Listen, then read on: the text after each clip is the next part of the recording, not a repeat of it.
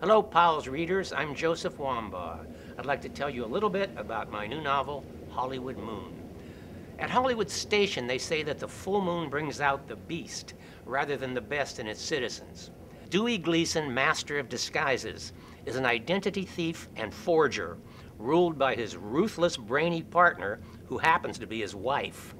He and his cohorts will encounter a very troubled 19 year old who is handy with a box cutter.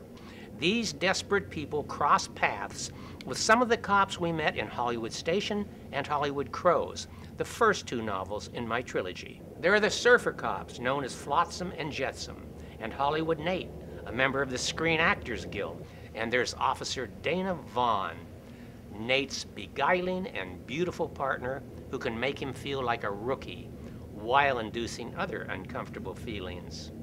The incidents, color, and cop talk is from my interviews with more than 50 police officers.